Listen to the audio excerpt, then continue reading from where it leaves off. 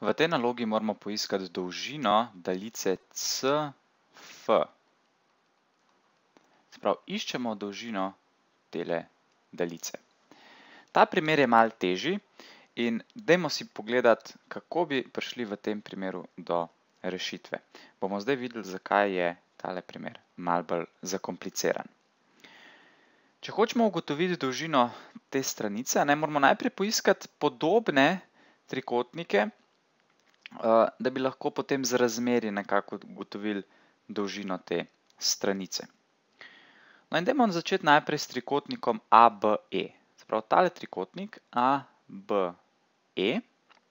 Poglejmo, če je skladen s trikotnikom oziroma podoben, ne skladen, podoben, če je podoben trikotniku CFE. Vidimo, da je tale manjši trikotnik CFE v trikotniku ABE. In vidimo, da si oba delita tale kot pri oglišču E in oba si delita oziroma imata skladna kota 90 stopinj. Se pravi, to je že dovolj, da lahko rečemo, da sta trikotnika ABE in CFE podobna. Se pravi, trikotnik ABE je podoben trikotniku CFE.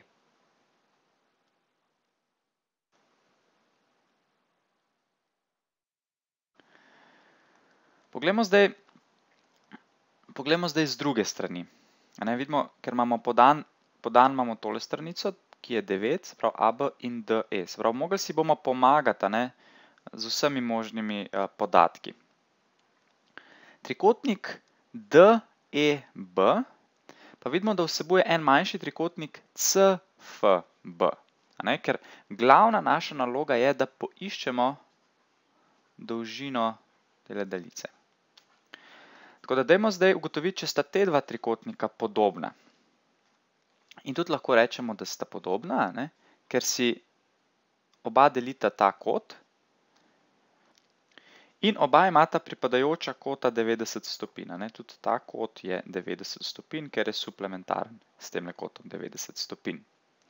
Tako da lahko napišemo, da je trikotnik, da je trikotnik, kam bi zdaj tole napisal, da mi ne bo zmanjkalo, da mi ne bo zmanjkalo prostora. Takole, trikotnik DEB, se pravi, to je DEB, je podoben trikotniku CFB.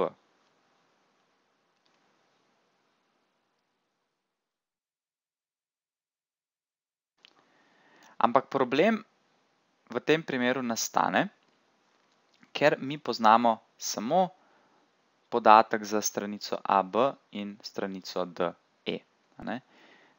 Nimamo podatka za nobeno drugo stranico, zato si moramo te podatke ne zmisliti, ampak uvesti neke nove spremenljivke.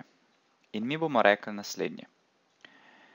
Stranica BF bo x, se pravi tole, tole bo x. Stranica BE bo y. Se pravi, vse tole, vse tole bo y. Potrebujemo še FE, no in FE bo pa, če imamo y pa x, to bo pa y minus x, se pravi, tole je y minus x. Zdaj smo uvedli neke nove spremenljivke, ene nove dolžine, s katerimi bomo zdaj opisali podobnost oziroma razmerja teh trikotnikov. Poglejmo, kaj poznamo. Se pravi, stranica CF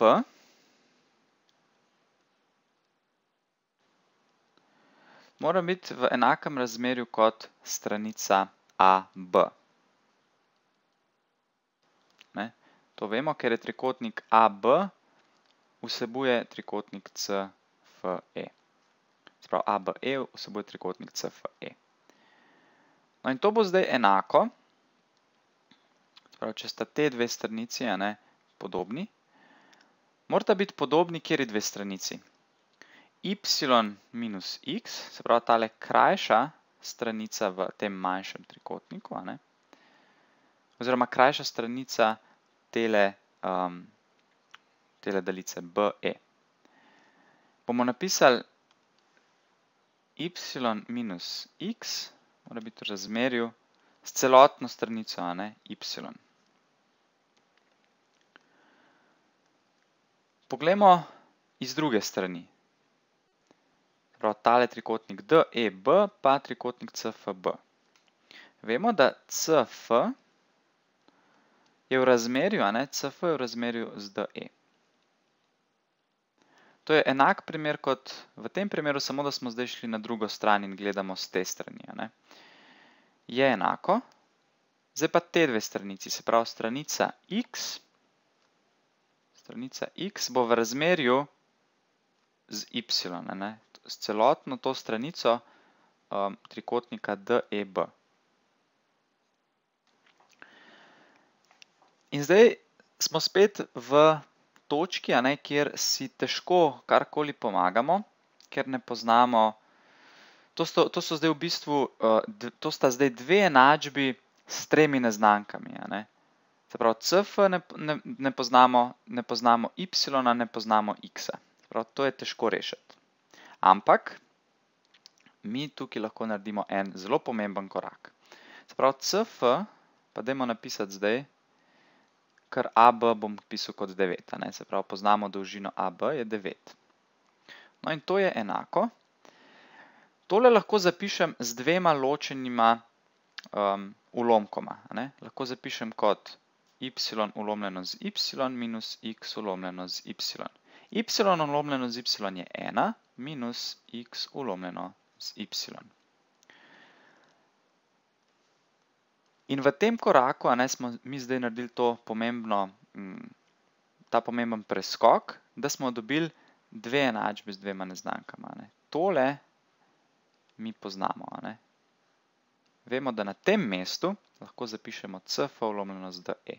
Se pravi, cf 9 je enako 1 minus tole, ne, cf vlomljeno de. Aha, pa namesto de bom zdaj kar zapisal 12, ne? ker poznamo to dolžino. Vse, kar moramo narediti zdaj, vidimo, da je um, iskanje cf, ne, izpostavili bomo cf iz tele enačbe. Jaz bi tole najprej množil z 12, pa dobim potem 12 cf, ulomljeno z 9, je 12 minus cf. Tole deljeno s 3 je 3, tole je 4, dobim 4 tretjine cf, tole dam na drugo stran, dobim plus cf, je enako 12. Množim še s 3, da se znebim ulomka. In dobim 4 cf plus 3 cf je 36, kar je 7 cf je 36, oziroma zdaj iz tega vam pride cf je enako 36 ulomljeno 7, kar je pa enako 5 in 1 sedmina. Ugotovili smo dolžino tele naše daljice cf, 5 in 1 sedmina. Postopek je malo zakompliciran, ne? ker uh, se, uh, bom rekel, rešitev skriva uh, za več plastmi tega problema.